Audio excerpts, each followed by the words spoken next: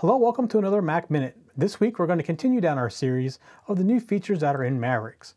This week we want to cover maps. So you think, I've always had maps on my Mac. Well, yeah, you can if you go to, to Google Maps or uh, to Bing Maps or any other maps, Yahoo Maps, you can get maps.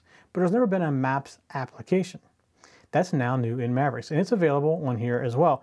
And it's pretty cool if you're like looking at things. I always just get curious and go looking at different places. So there's a new icon. You're going to see it right here. It's maps. So we're going to click on it. And you can see it already knows where I'm located. I'm over here in Maryland. And we can uh, zoom in a little bit. And let's go over here. So there's Maryland. And zoom in a little bit more and you can see there I am a little west of Frederick, kind of out in the boonies. But as we go in, let's go look at like a good example of um, Union Station, uh, Washington, D.C.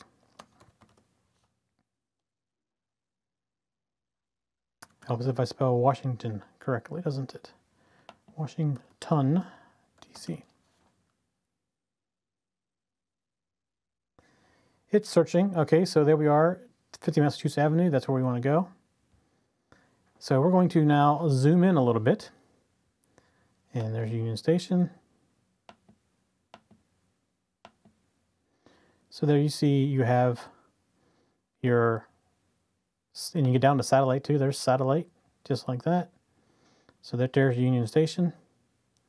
Postal Square building right here. So you can see all the trains coming out of Union Station right there, or you can do the hybrid, which will give you both uh, the roads. And if we go one in a little bit farther, move the map over here. Oops, I have my thing backwards. So you can keep getting in. It's The pictures are really good. As we keep scrolling in, look at the quality of the photos, really good. And you can basically do everything you can do on the Maps app that you have on your iPad. Plus you can also come down here and you can get, this is my location. This is driving directions. And if we go into city view mode, you can see we're now in 3D mode, looking at an angle. And we can move around, and look at the different buildings. So there you see we're kind of like in this city building mode, which three, the 3D mode. So this is all now available on the Mac. All right, that is it for Mac Minute this week. We'll see you all next week. And we're going to cover next week, uh, let's see, notifications. They've gotten really good. So we'll see you next week on Mac Minute.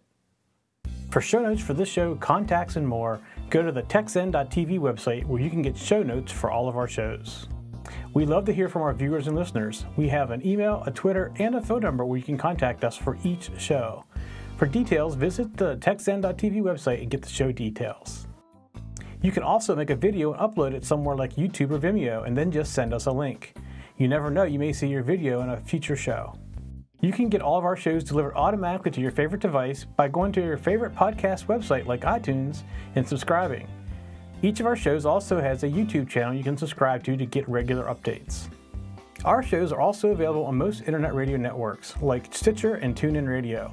You can also watch and listen to our shows on Xbox, TiVo, and Roku. You can even find us on your Zune.